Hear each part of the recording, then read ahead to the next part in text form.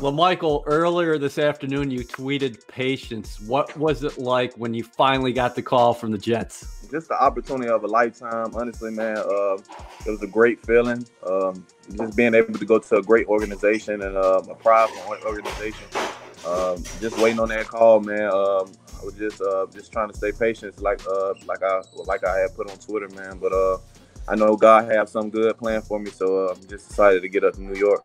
What put you in the position to get drafted? Remember back in 2014, you paid your own way with a bus ticket to Florida so the Gator coaching staff could get a look at you.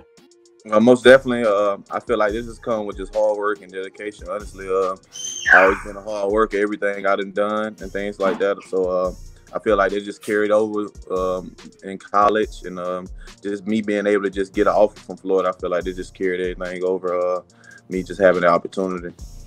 Speaking of Florida, how about joining a roster now that has five Gators on it, including Marcus Maye, Brian Poole, Jonathan Harrison, and the Jets most recently drafted one of your teammates at Florida, uh, Jabari Zuniga.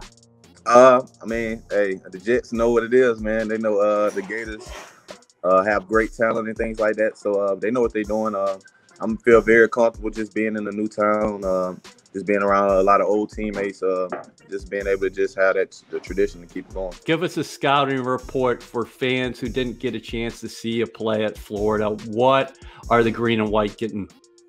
Um, a hard-nosed runner, uh, a competitor, a person who does not not like to lose. I'm just a hard-working guy, just being able to just be versatile, being able to catch out the backfield.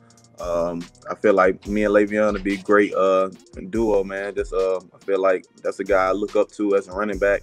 Um, we have similar games. Uh, I feel like I can catch the ball as well, like he can. So uh, I mean, just being able to just uh, have this opportunity is just honor, man. Well, Michael, we wish you congratulations. Thank you for your time today.